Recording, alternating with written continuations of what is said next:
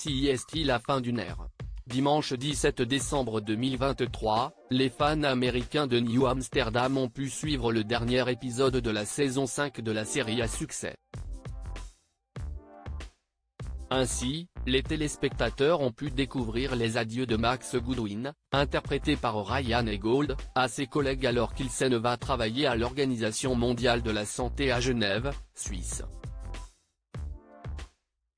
Seulement, son discours d'adieu ne se passe pas comme prévu puisqu'avec 53 autres chirurgiens il doit tout faire pour tenter de sauver une mère de famille qui a fui l'Ukraine. Les téléspectateurs font également la connaissance d'une femme qui est la nouvelle directrice médicale de l'établissement. Cette dernière semble un peu perdue et peine à se repérer.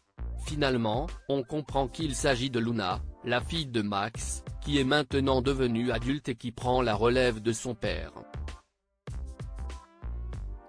Si est une idée qui a commencé à circuler parmi nous parce que ma fille de 11 ans m'a proposé cette fin un matin, a raconté le showrunner David Schulney à EW. Je lui ai dit de se concentrer sur ses devoirs et moi sur l'écriture de la série.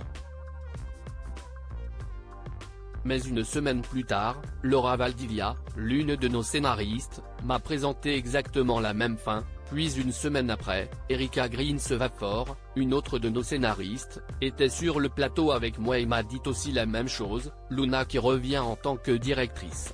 New Amsterdam n'aura pas de saison 6 alors que cette fin lui a été proposée à de nombreuses reprises, le créateur de New Amsterdam a fini par l'accepter et a donc choisi cette scène pour mettre un point final à la série qui n'aura donc pas de saison 6. Comme la série a débuté avec Max dans l'auditorium, elle se termine de la même manière.